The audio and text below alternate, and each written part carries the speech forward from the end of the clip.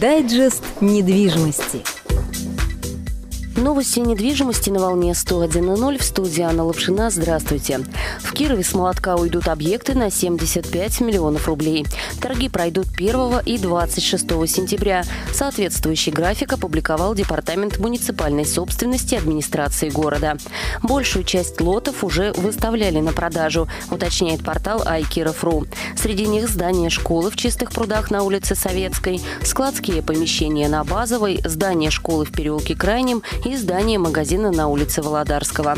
Торги назначены на 1 сентября. Заявки на участие в аукционе можно подать до 28 августа. 26 сентября департамент планирует реализовать 5 объектов.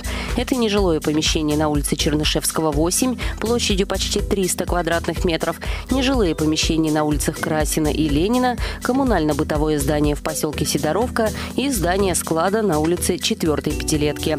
Общая стоимость имущества, запланированного к продаже, продаже составляет почти 12 миллионов рублей.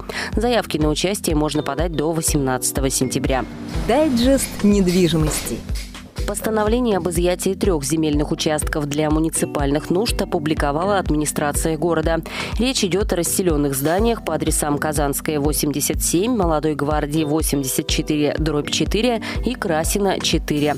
Решение принято в связи с неисполнением собственниками жилых помещений обязанностей по сносу аварийных домов, уточняется в документе.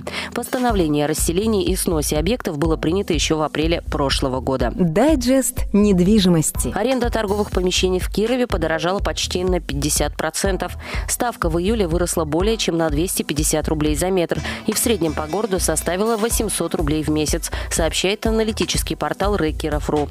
Также увеличилась в цене аренда производственных помещений. Они подорожали на 22 с лишним процента или 30 рублей за метр.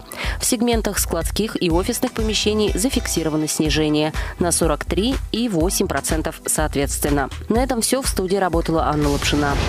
Дайджест недвижимости.